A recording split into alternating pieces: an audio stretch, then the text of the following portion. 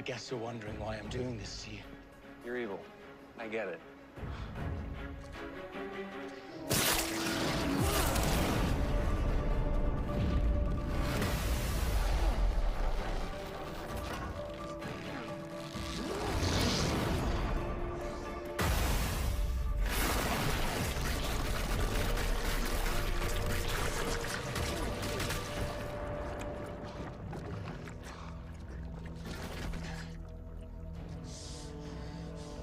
I bet it's been a while since you felt your own mortality. But my powers, like yours, work on a cellular level. Allow me to demonstrate.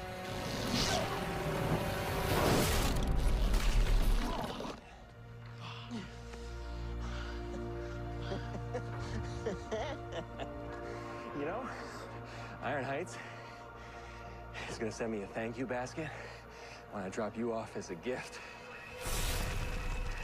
I've already given you a gift. And now, I'm gonna need it back.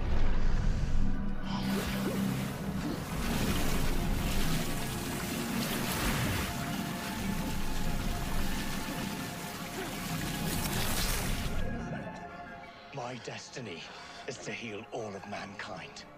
You and your friends can't be allowed to prevent that. Life demands your death.